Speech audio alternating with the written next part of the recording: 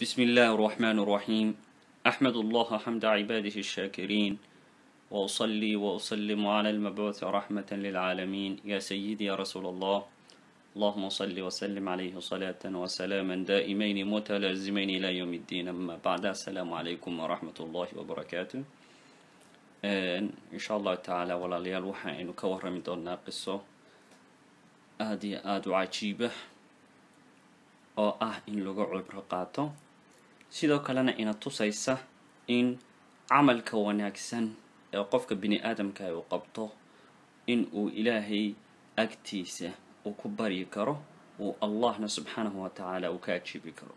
Sida uu allah subxaana wa tacaala loogu dhowaado magacyadiisa wan wanaagsan iyo sifooyinkiisa wan wanaagsan waxaa kaloo allah loogu dhowaadaa camal wanaagsan oo aada suubisay oo aada qabatay. Insha allahu tacaala qisadan waxaa ka waramay rasuulka sala allahu calayhi wasalam waxa uu yihi rasuulku sala allahu calayhi wasalam waxaa baxay saddex nin waktigii idinka idinka horreeyey. Saddexdaa nin ayaga oo meel maraya ayaa waxaa qabsaday roob. Roob mahiigaan ah kadibna waxay u hoydeen god. Godkii markay u hoydeen ayaa godkii waxaa isku gooyey dhagax weyn. Markii godkii ay galeen ayaa dhagaxiina afkii ku ku awdmay. Dabadeed waxay dhaheen wallaahi meeshan aan ku jirno wax kale oo inaga badbaadinaya ma leh. Aan ahayn camal wanaagsan oo aada ilaahay dartii u samaysay oo aynu ilaahay ku barino mooyaane. Marka mid ka mid ah ayaa waxa uu yidhi ilaahayow haddii aada og tahay in aan lahaa laba waalid oo gaboobay oo waayeel ah. Labadaa waalidna waxaan habeen kasta u soo lisi jiray caano oo caanahaasi dhami jireen. Dabadeedna habeen habeenada ka mid ah ayaan ka raagay iyaguna way iga hor seexdeen. Kadib caanihii markii aan soo lisay anoo gacanta ku haya ayaa waxaan karaahiyeystay in aan ayaga hortooda aan cid kale wax siiyo.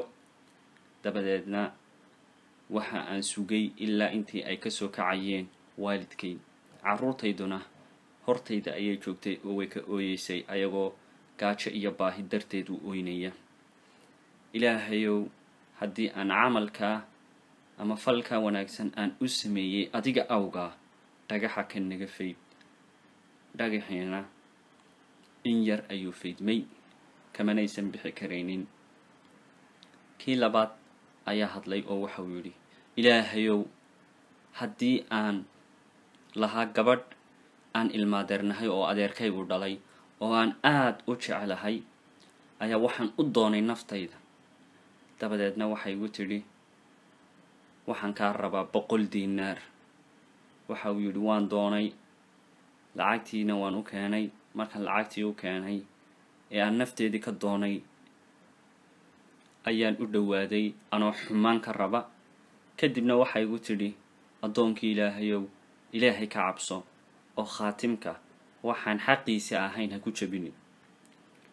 Waxa uu yidhi waan baxay iyadoo gabadhaasina ay tahay gabadhii aan ugu jeclaa iyo fursaddii ugu wanaagsanayd ee aan helay. Kadibna ilaahayow haddii aan gabadhaa dartaa aan camalkaa wanaagsan u sameeyey ilaahay ou dhagax naga fayd dhagaxiina waa faydmay ilaa inta ay ka arkeen cerkii laakiinse may awoodi kareen in ay ka baxaan. Kii saddexaad ayaa hadlay oo waxa uu yidhi ilaahayow haddaad og tahay inaan lahaa dad shaqaale ah oo ii shaqeeya kadibna aan shaqadoodii iyo mushaharkoodii waxa ay galabsadeen aan siiyey ayaa mid ka mid ah uu ka tegay lacagtii ujuradii uu igu lahaa iyo mushaharkiisii dabadeedna intaan xoolihiisii aan soo qaaday ayaan kobciyey. Dabadeedna waan ka midho dhaliyey oo xoolo badan ayay noqdeen. Dabadeedna muddo kadib ayuu ii yimi ninkii waxaan igu yidhi xoolahaygiisii. Dabadeedna waxaan ku idhi xoolaha halkaa jooga ee geel iyo lo iyo adhiba leh adiga ayaa iska leh. Ninkii waa yaabay oo waxau yidhi maad igu jeesjeesaysaa markaasaan idhi may kuguma jeesjeesayay xoolahaagii ayaan kobciyey oo waxaasoo xoolo ah ayagan ka soo saaray. Ninkii waa qaatay wixii oo xoolaayana waa dareersaday midhna kamuusan tegin. Ee ilaahayow haddii aan camalka adiga dartaa u sameeyey ilaahayow naga fayd dhagaxa kan kadibna dhagaxii waa faydmay oo waxay awoodeen inay ka soo baxaan meeshii godkay kadibna halkaas ayay kaga soo baxeen meeshii.